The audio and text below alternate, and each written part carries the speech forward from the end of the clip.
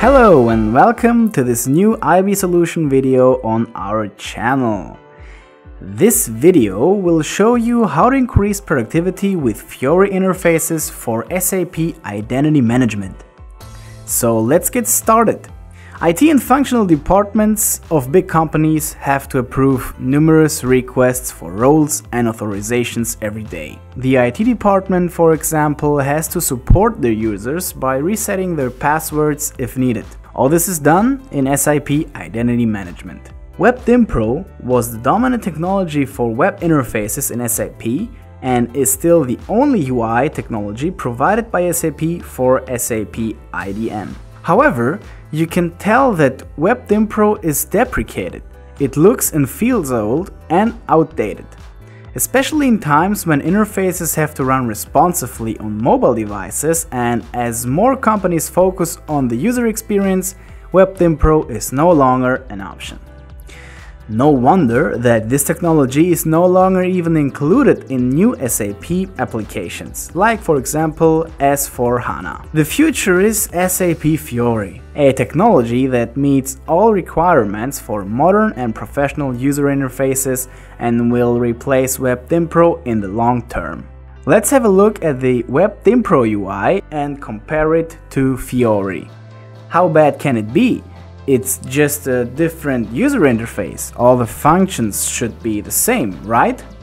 Well, not quite.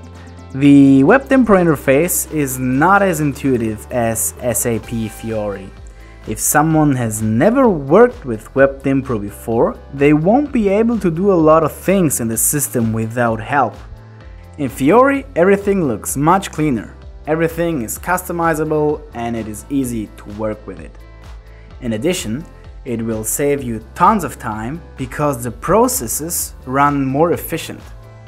Let's have a look at an example. Let's suppose that one of your employees needs a new authorization. If we follow this employee through this process using a WebDynpro application on one side and the Fiori application on the other side, we will notice a few things. The same process runs on both sides, but on the left, the interface is not as complex as on the right. The one on the right is much less intuitive.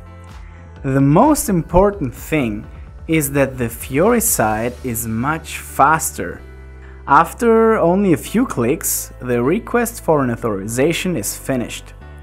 The WebDynpro application will take much longer, even for an experienced user. It might not sound like a lot at first, but in a huge company where some processes run thousands of times every day, one minute or more per process is a big deal. And as we all know, time is literally money. So don't waste your time and create your own Fiori interfaces for SAP IDM with SECMENDO UI Generator and SECMENDO Self-Service. Find out more by clicking the info card on the top right corner. If you like this video or if it helped you out with some information about Fiori, please hit the like button. Comment below if you are considering a Fiori customization of your SAP IDM system and let us know if you have any further questions. Thank you very much, goodbye and see you soon.